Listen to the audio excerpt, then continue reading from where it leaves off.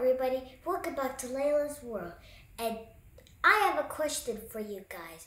Haven't you ever wondered why do snakes shed their skin so much? Well, I'm here to answer that question. So when you're just walking outside, you may see some skin that is left behind from a snake, and you may realize why do snakes shed their skin so much? Well, not just snakes shed their skin, other animals like insects do too, but you may realize why they shed their skin? Now you may see cats and dogs and hamsters and bunnies don't shed their skin, so why do reptiles shed their skin? Well, I can't tell you why. It's because they need to grow, and when they grow, their skin doesn't grow with them, so they have to shed their skin to grow. Get what I'm saying?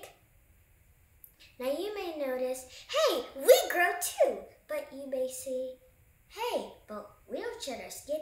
Well, let me tell you there, you're wrong. Because we do shed our skin, but tiny pieces, so tiny you can barely even notice. So we shed our skin too, but so tiny. Some animals, when they shed their skin, they shed it all at once. But some animals take them days to shed their skin. So animals who can shed it all at once, it's like a blessing for them because they can grow easier. But animals who take days, it kind of makes it harder to grow.